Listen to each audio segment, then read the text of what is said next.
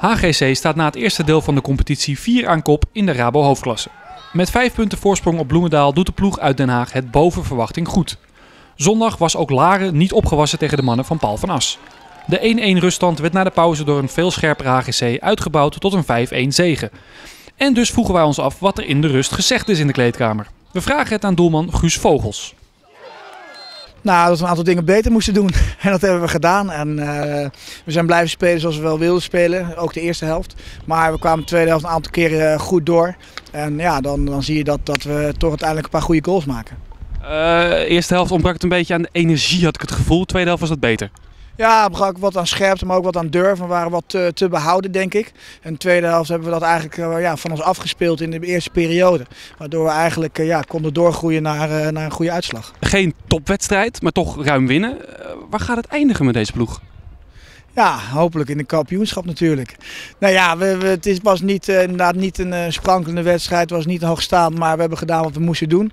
En uh, uiteindelijk hebben we gewoon een hele goede uitslag neergezet. We hebben goed verdedigd, we hebben, we hebben weinig weggegeven en de kansen die we weggeven, ja, die, die missen ze eigenlijk ja, relatief simpel. Dus ja, dan, ja dan, dan, dan kom je een heel eind.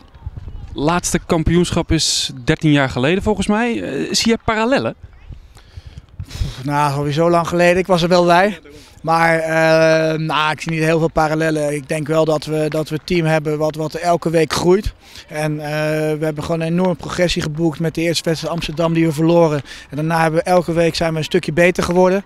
Niet altijd even goed, maar wel in, in balans van het team en in, in, in, de, in de energie die we hebben. Dus ja, het kan een heel mooie tweede helft gaan worden.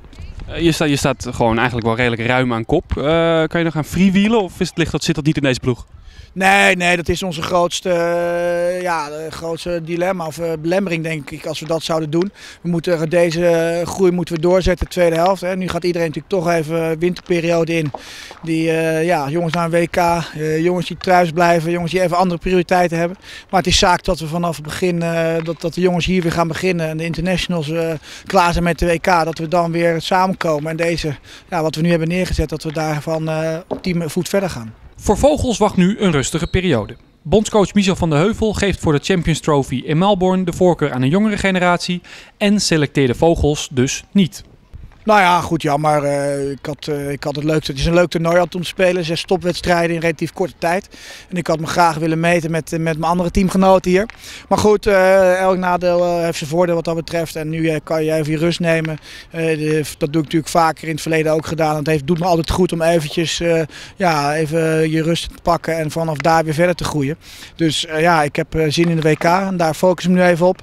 En ja, tot die tijd uh, ja, blijf ik fit blijven. Gewoon doortrainen en uh, kijken, keeperstraining, zorgen dat ik fit ben. Uh, nou ja, krachttrainingen doen, dat soort dingen. Dat zijn niet de leukste dingen, maar voor mij wel essentieel. En dat heb ik eigenlijk altijd goed verzorgd. En dat moet ik ook in deze periode gewoon doen.